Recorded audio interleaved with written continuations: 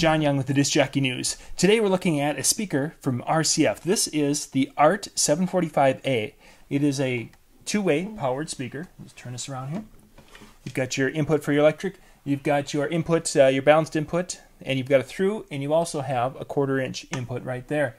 Um, pretty limited uh, as far as features on the back because a lot of the technology has been built into the unit.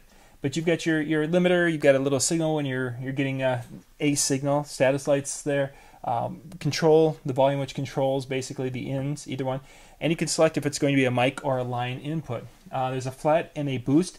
Uh, in the video that you'll see in a little bit, I shot two clips, one on flat and one on boost, and uh, at the volumes that I did it, you didn't hear much of a difference. I'm thinking that uh, probably when you push it a lot harder, you may hear more. But for the initial, I didn't push it, then I pushed it. But this is a 15 inch two way.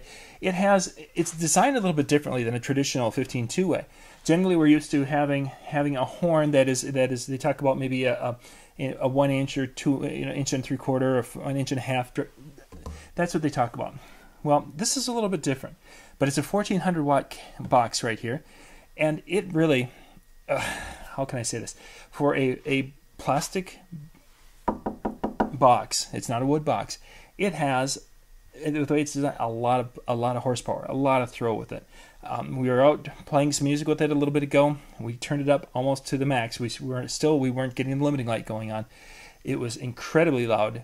And what, what I really really liked about it is even at that high high volume, we weren't getting a piercing highs. It was sounding very, very smooth in front of the speaker. Now, interestingly, behind the speaker, traditionally when you're pushing that loud, you would you would hear more the the bass coming through, or you know, hear more bass.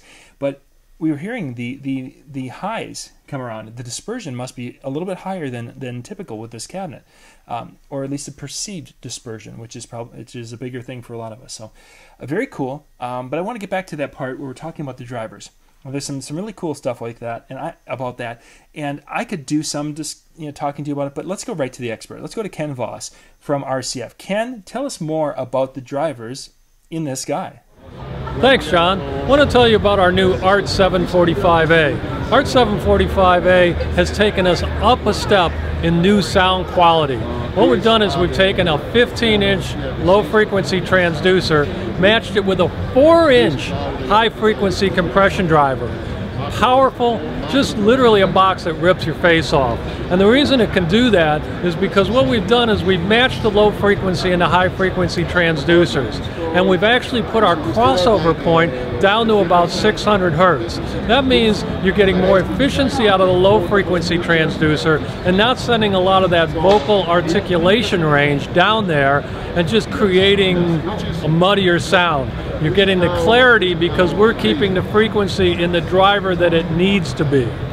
That way we can also reduce our power handling on it and give you more power. We can get 136 dB out of this box. It just, again, rocks. So that was Ken talking about it. Now let's take a look at the video. I've got a couple of clips, and they're both, I'm going to put them both here, even though I really can't hear a difference, and probably over the computer you won't hear a difference. The first clip is with the speaker set flat. The second clip is with the speaker with the boost, which is you know kind of the, giving a little bit of a, a smile boost signal. So let's take a look at the two video clips.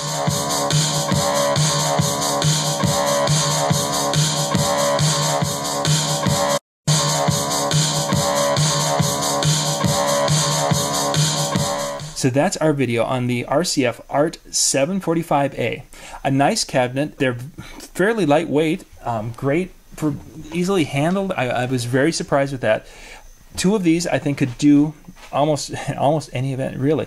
Um, you might want to have a sub sub below, but I think for most DJs who are doing weddings and you want to have a microphone that is that comes through strong and clear, and yet you want to have the ability to go very very loud, I think this would be definitely something you need to check out because it has that ability to fill a room your microphone and audio is going to come through clearly and it's still going to give you a lot of sound when it comes to the dance. So check that out. We'll put a link in the description below, but you can go to rcf-usa.com